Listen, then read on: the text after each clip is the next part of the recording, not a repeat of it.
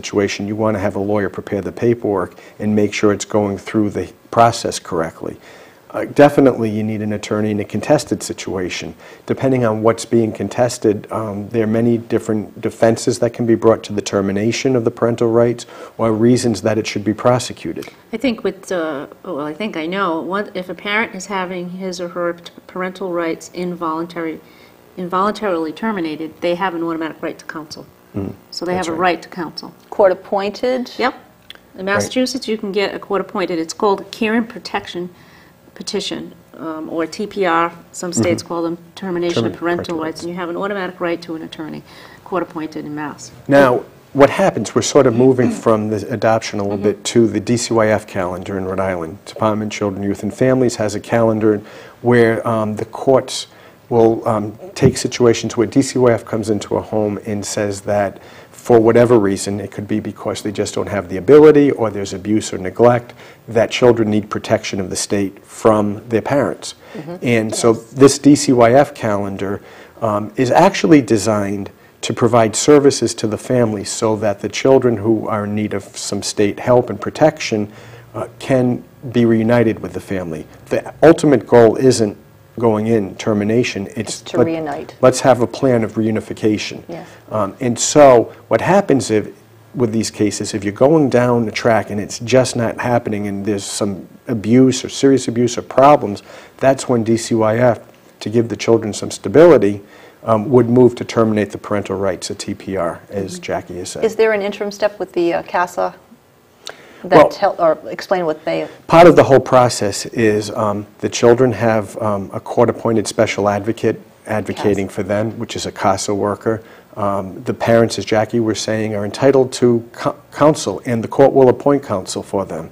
Just as in a criminal case, you're entitled to um, counsel in DCYF calendar you are.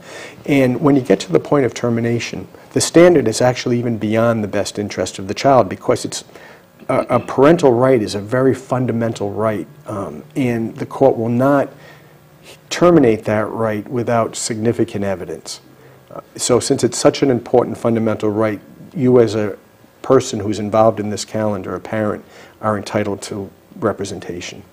And you do, in representing uh, a mother or father, you'd be likely to help uh, document things that are supporting whatever their position is, presumably. And how long would that process take if someone is trying to defend that they are, in fact, a fit parent? Oh, geez, in a, a normal trial calendar, you would have a period for discovery, which is exchanging information Yes. between both sides, uh, medical reports, psychiatrist reports, whatever it is, police reports.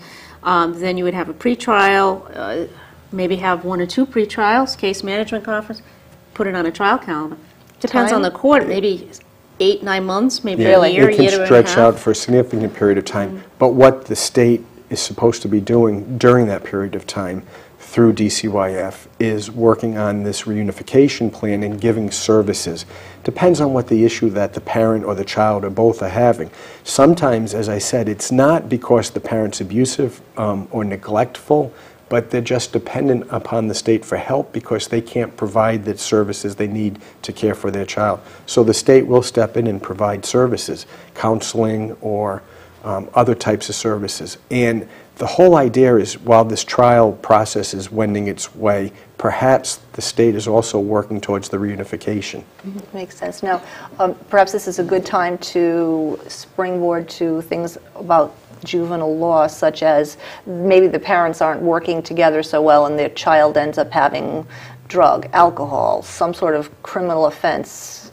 Uh, There are a couple of ways that um, juvenile cases can be heard in juvenile court. They do have a juvenile court in Massachusetts. Rhode Island, they have a juvenile calendar.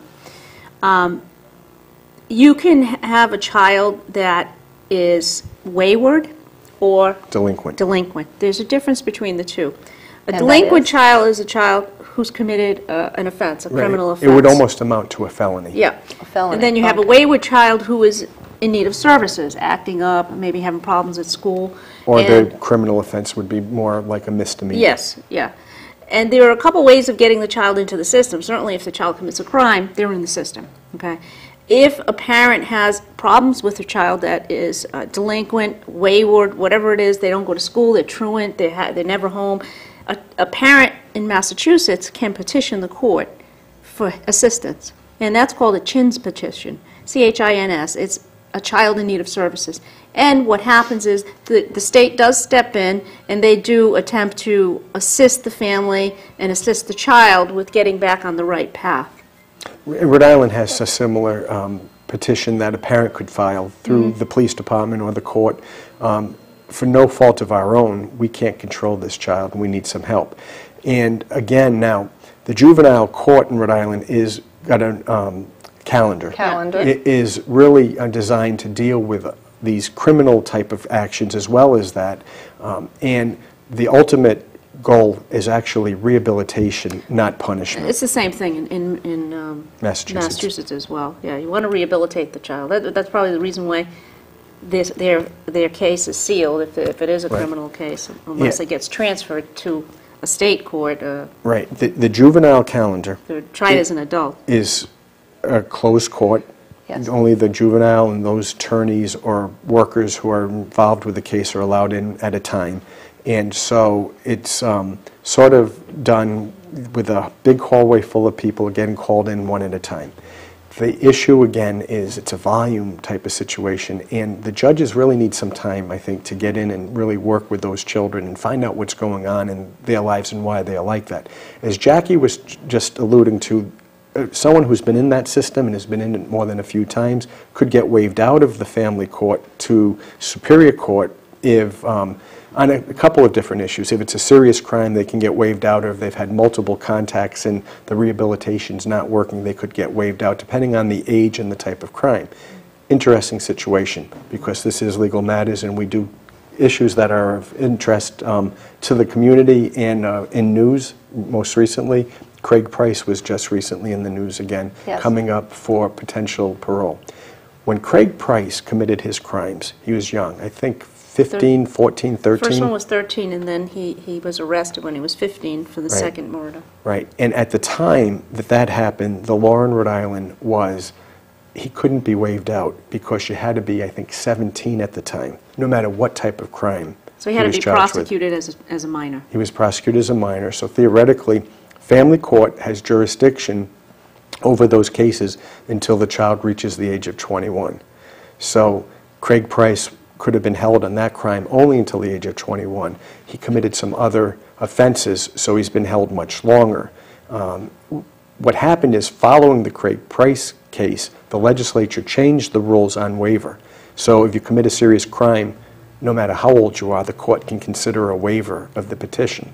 So that was an interesting change in the jurisdiction of uh, juvenile court and the waiver process. Well, speaking of Craig, uh, there was an issue about the drugs that he had been using, and I imagine that if you have a juvenile who's dealing with alcohol or drugs and has then caused some, has been caught with some crime, are they likely to rehab a child with anything short of committing murder? Oh, well, You mean depends on to the- waive or to rehab? Are they likely to say, we will rehab, this is a, a child, let's see if we can help him before he ends up committing a serious crime? well, that's always the goal, is to rehabilitate the, the child, which is the whole Right. purpose, I think, of the juvenile ca- court. That's right. is to, to re, because there's always the hope and the opportunity for rehabilitation. Sometimes what they'll do is they'll put him in, uh, I want to say it's a diversion program, not a, uh, Well, there's a couple of different They things. can We have send the him drug into- court. Yeah, you can put him into a drug court, um, which is, that you have a a judge that travels around throughout the state, and,